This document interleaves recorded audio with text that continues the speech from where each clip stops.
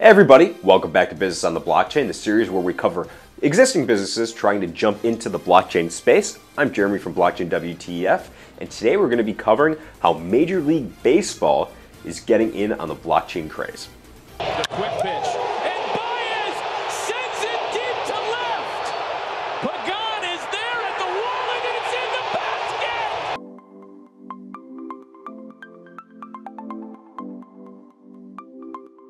If you can't tell, I love baseball.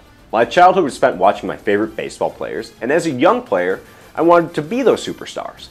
But like all kids, I had to settle for the next best thing Little League and card collecting.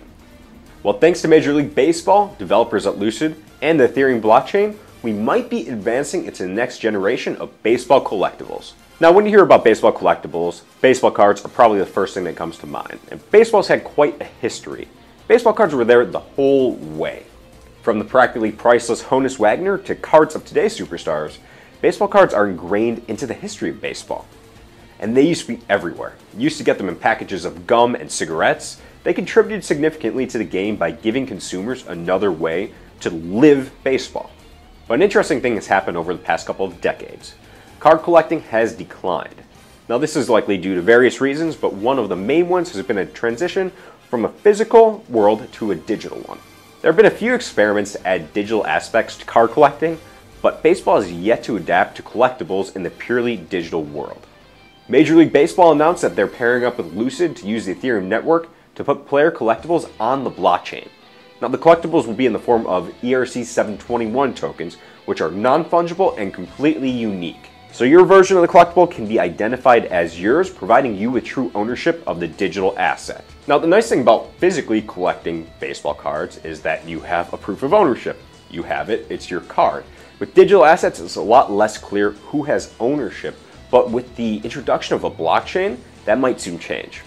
Baseball has come under recent criticism based off a perceived reduction in popularity. Ticket sales are solid, but recent surveys suggest that the average fan of Major League Baseball is around 45 years old. And that's not a number you want to see if you're Major League Baseball. Young viewership is down, with many young people stating that baseball is slow moving and boring.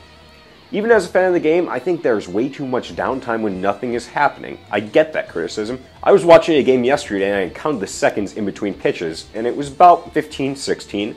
And I thought to myself, I watch a lot of baseball, this game is actually pretty fast moving. So I get that criticism. And so does Major League Baseball. They're exploring ways to speed up the game and reach younger fans, and these collectibles might be a great way to introduce baseball to a younger, more tech savvy audience.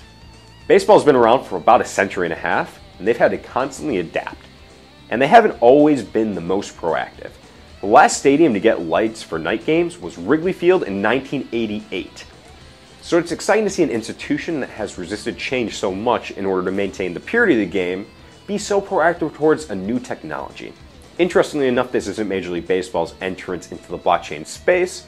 They've previously explored accepting payments for ticket purchases and other services they provide in cryptocurrency, but ultimately decided against it, citing that accepting the speculative asset wouldn't do much to further their primary goal of making ticket sales more accessible.